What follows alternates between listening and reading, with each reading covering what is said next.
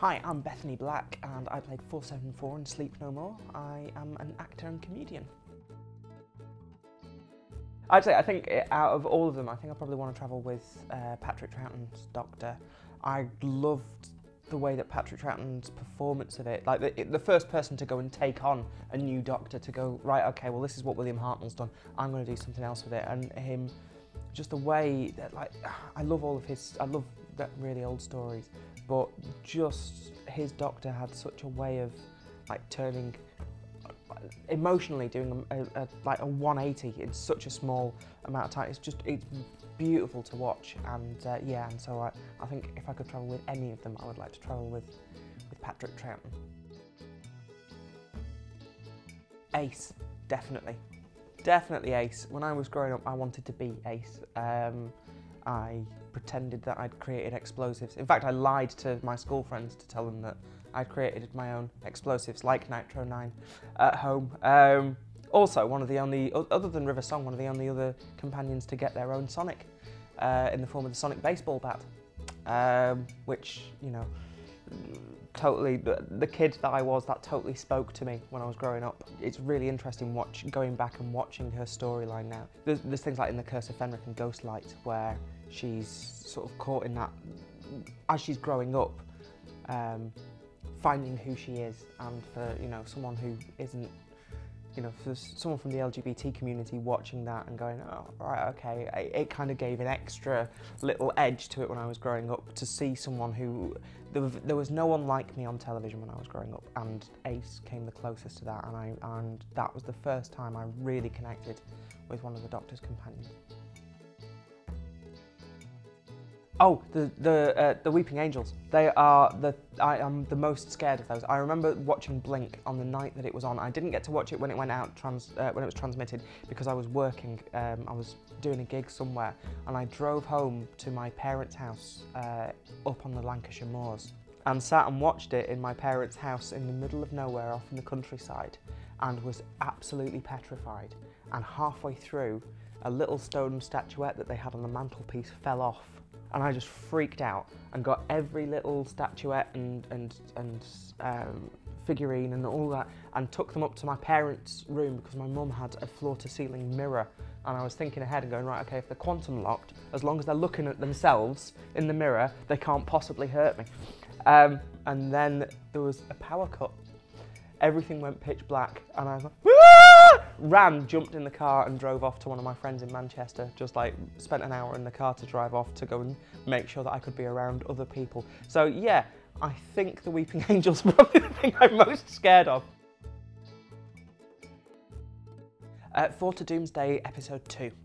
That was my first that I watched and I realised that because when I uh, I'd been, my, my, partner is from Sweden and she'd never seen Doctor Who um, and she had no idea about Doctor Who at all. And when we first got together, we started watching it, and we watched all of the, the new stuff from um, from Christopher Eccleston right the way through, and then we started watching the old stuff, and we've gone through all of that. And it was only when I got to Four to Doomsday, episode two, that I suddenly went, "This is my earliest memory. This is my earliest television memory, at least." Um, and I remember watching that and going in and seeing it on the TV and finding it so enthralling and so repulsive and having to run out and run back in and watch little three-year-old me just like running, oh no, it's too much. Um, so yeah, that was, that was my first episode that I can remember watching. On a rainy day, I tend to be at my happiest because it means that there is no pressure on me to leave my house. So I tend to like to sort of sit there and find one that I can really connect emotionally with. And I think um, if there's one that has made me that I connect with emotionally more than any other, it's the two-parter um, Family of Blood, um, Human Nature, uh, which just so much about that. The the Doctor being his most alien self. The Doctor just not. Um, that you know, it, he is his most alien when he's being human, when he's entirely human, and he doesn't fully. You know, that the fact that he hasn't hasn't even factored in that he'll fall in love, that he hasn't considered what will happen if he has all of the human emotions.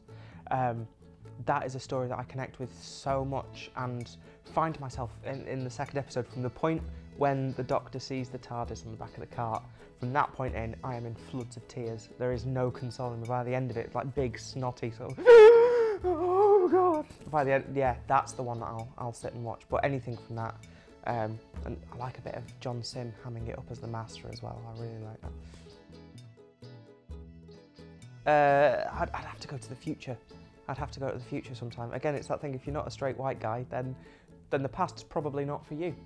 Um, you know, if you want to go somewhere where you can minimise the risk of, of, of, of, anything nasty happening, you know, head off into the future. I think I'd like to go and um, I'd like to go and see the end of the world. You know, in episode two of season one with with Christopher Eccleston, I'd like to go and see go and see our sun expand and, and and time disappear. I go everywhere. That's it. That's the thing. I'm so scared of dying. I'm so scared that that when it's like I've only got like, a set amount of time and there's not enough time to do everything that I'd want to do. Um, the TARDIS doesn't even give you that. You know, you are such a tiny blip in the whole of history.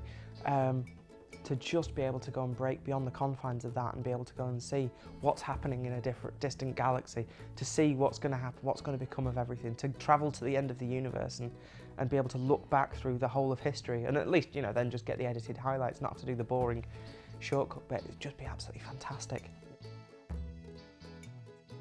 I'm a comic book nerd as well as a Doctor Who fan. Um, growing up, I read uh, The Punisher and X-Men religiously, and these days I read you know, Spider-Man, and I'm a big Marvel Comics fan. I, I collect those, and um, one of the first things that I bought when I when I suddenly had money for the first time when I was casting Cucumber and Banana by Russell T Davies last year was uh, I went out and got some some of the rarer comics that I'd had my eye on. I was like, oh, I can actually afford to buy this now.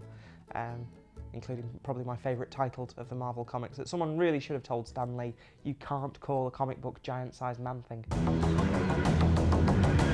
Thank you.